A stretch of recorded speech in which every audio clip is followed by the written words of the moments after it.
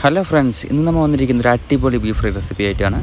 അതിനുവേണ്ടി നമ്മൾ ആദ്യം കഴുകി വെച്ച ബീഫിലേക്ക് കുറച്ച് ഉപ്പ് മുളക് പൊടി ആവശ്യത്തിന് മല്ലിപ്പൊടി കുറച്ച് മഞ്ഞൾപ്പൊടി കുറച്ച് ഇഞ്ചി വെളുത്തുള്ളി പേസ്റ്റ് കുറച്ച് കറിവേപ്പില ഇതെല്ലാം ചേർത്തിട്ട് നല്ലപോലെ വേവിച്ചെടുക്കുക.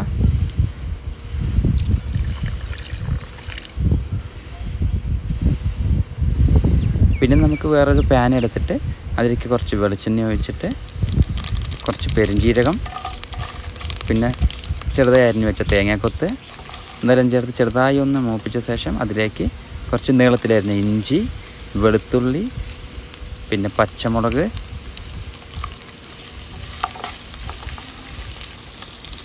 ആവശ്യത്തിന് സവോള ചേർത്ത് കുറച്ച് കറിവേപ്പിലയും കൂടി ചേർത്തിട്ട് ഒരുപാട് കളറൊന്നും ചേഞ്ച് ആക്കണ്ട. ചെറുതായിട്ടൊന്ന് കുറച്ചൊന്ന് വാട്ടിയാൽ മതി. കുറച്ചൊന്ന് വാടിയ ശേഷം നമുക്കതിൽ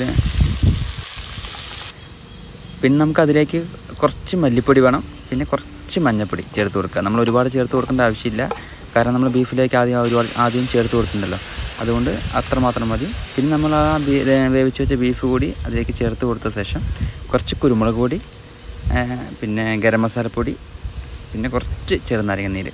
ഇതുകൂടി ചേർത്തിട്ട് നമുക്ക് നല്ലപോലെ ഒരു ചെറിയ തീയിൽ സ്ലോ ഫ്ലെയിമിൽ അടുപ്പിൽ വെച്ചിട്ട് ബീഫ് മുരിഞ്ഞ് വരുന്നവരെ വെയിറ്റ് ചെയ്യേണ്ടതാണ്. ഇടയ്ക്കിടയ്ക്ക് ഒന്ന് ഇളക്കി കൊടുക്കും കൂടി വേണം. അപ്പോൾ നിങ്ങൾ വിചാരിച്ച ആ അടിപൊളി ബീഫ് ഫ്രൈ കിട്ടുന്നതായിരിക്കും. കണ്ടില്ലേ? അടിപൊളിയല്ലേ? കാണാൻ സൂപ്പറല്ലേ?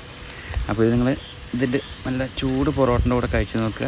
അടിപൊളിയായിരിക്കും. സൂപ്പറായിരിക്കും. നമ്മൾ റെസ്റ്റോറന്റിലൊക്കെ പോയി കഴിക്കുന്ന ആ ഒരു ഫീലിംഗ് കിട്ടും. ആ ഒരു ടേസ്റ്റും കിട്ടും.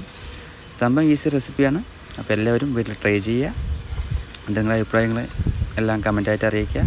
നിങ്ങൾക്ക് വീഡിയോ ഇഷ്ടപ്പെട്ട് കഴിഞ്ഞാൽ നമ്മുടെ ചാനൽ സബ്സ്ക്രൈബ് ചെയ്യുക ലൈക്ക് ചെയ്യുക ഷെയർ ചെയ്യുക. Thanks for watching